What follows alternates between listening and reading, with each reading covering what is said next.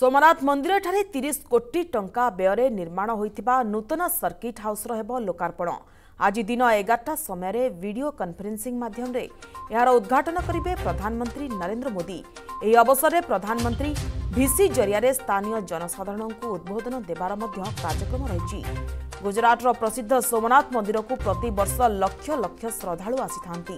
ତେବେ ମନ୍ଦିର ନିକଟରେ ଶ୍ରଦ୍ଧାଳୁଙ୍କ ପାଇଁ କୌଣସି ରହଣି ସ୍ଥାନ ନଥିବା ବେଳେ ସେମାନେ ଅସୁବିଧାରେ ସମ୍ମୁଖୀନ ହେଉଥିଲେ।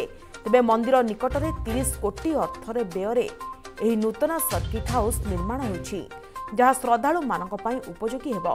ଏଥିରେ ସୁଟ୍ ଭିଆଇପି ଡିଲକ୍ସ ପ୍ରକୋଷ୍ଠ ସହିତ ସମ୍ମିଳନୀ କକ୍ଷ ଏବଂ ପ୍ରେକ୍ଷାଳୟ ମଧ୍ୟ ଉପଲବ୍ଧ ରହିବା ଦେଖିବାକୁ ମିଳିଛି।